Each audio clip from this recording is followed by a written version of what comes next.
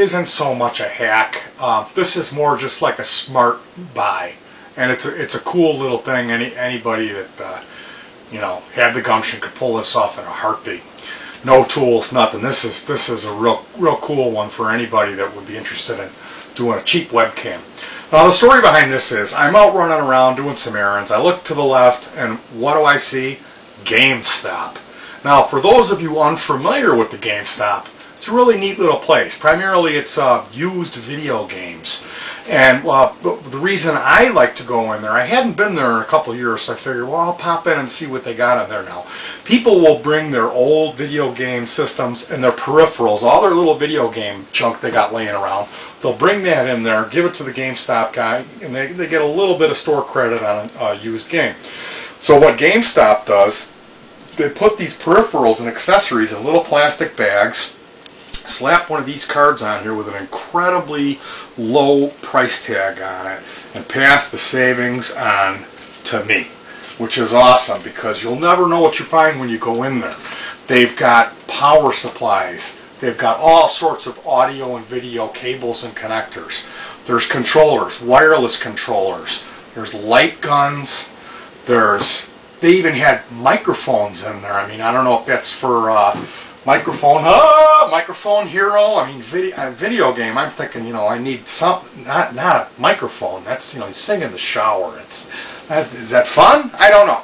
So anyway, I go in there today, and I notice they've got uh, uh, almost about ten of these suckers, and it's. Uh, it's a PlayStation 2 EyeToy, it's called. So I'm looking at it, and I'm thinking, well, that's got to be a, a color camcorder, color camera right? And and so I, I look over here and lo and behold, what do we have here? A USB plug. So I'm thinking, excellent. And on top of it, it's $2.99. So I'm thinking, this is excellent. Even if I can't get it to work on the XP, I can always use a color camera for a project, you know.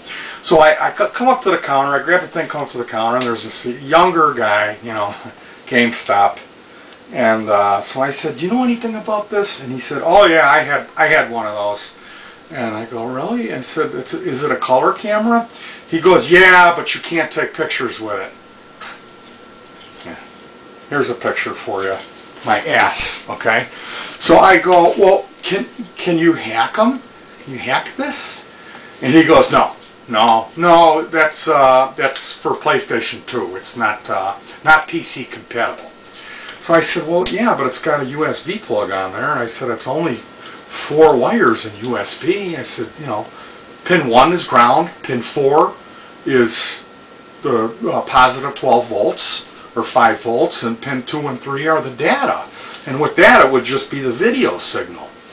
So he goes, no, no, I, I really wouldn't uh, recommend that. It's not, that's not what it's for. And I said, well, no, dude, I've done this before. I got the little color camera module out of an Infiniti, out of the rear bumper for the for the reverse camera, and I, I turned that into, uh, I used it as a webcam once, and I put mounted it in my air conditioner for a security camera. It's there's four layers. It's power and then the signal. You know, you can put an RCA plug on here and plug it into your VCR and hit the input for auxiliary, and there's your video. It's simple. And he goes, no, no, you really, I'm afraid you need a professional for that. And I said, the only thing you need for this is some balls. Then he got a little weird and he was trying to rush me out of there.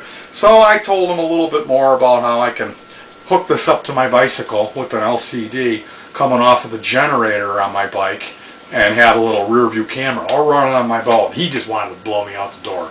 So here's a big to the boys at GameStop. There you go, GameStop. Stop on this, buddy, and get your professional because you're probably going to need some help. Now, I've been active on the, very, unfortunately very active on the internet for 15 years. Um, you know, I've been uh, a member of a BBS for as long as I can remember. I love bulletin boards. Uh, now, you know, a great way to communicate over the internet. Now, uh, for my buddies, you know, and I've, I've got friends out of state, it's really cool to get yourself a headset mic and then you utilize Skype or Yahoo Messenger. Rather than be on the phone, You can put this thing on, you know, it's a couple of bucks. I think I paid $2 a pair for my headsets. I got some cheap ones. And the, the sound quality is better than the telephone. The Skype program is free.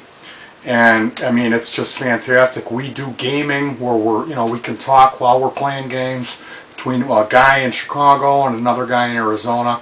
So I mean, I can't tell you how much I've enjoyed that with the, the free service with Skype and the quality of the calls, and it's it's just absolutely fantastic being able to help people fix their computers while you know being uh, without a phone. It's just a wonderful free service, and uh, this you know this was the missing link. Now I've got the video, and it, it cost me three dollars. Now there's a couple steps involved in getting this to work properly.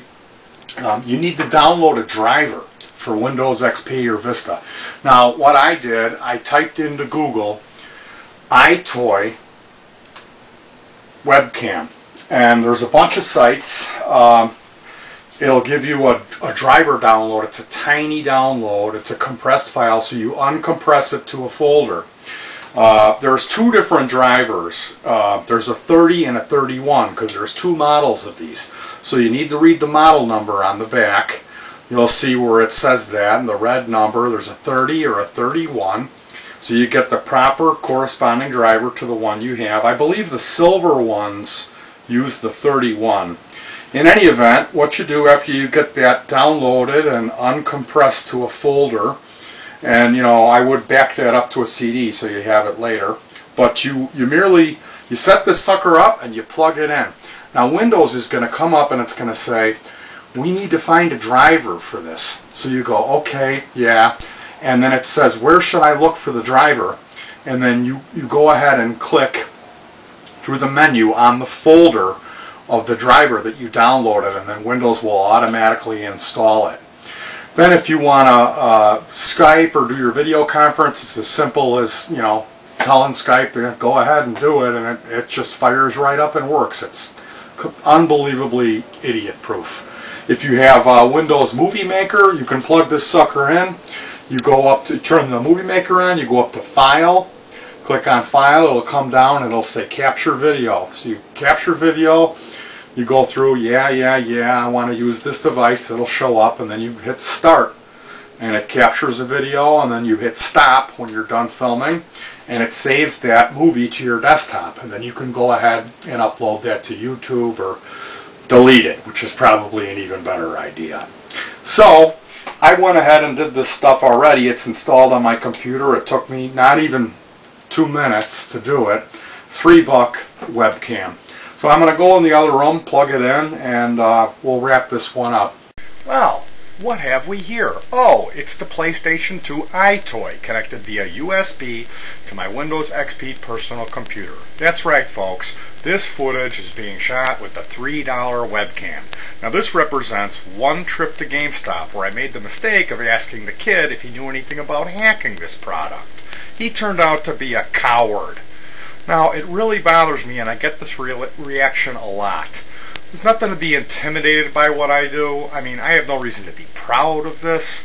I mean, it's not an advanced art or science. You know, it's if if something breaks, I get that Phillips screwdriver and open it up and take a look, monkey with it. If I get an idea, get some stuff together, do some tests, and especially nowadays, Google. If you have an idea, chances are 10, 20, 1,000 people have already implemented that idea. So you type it into Google, and there you go.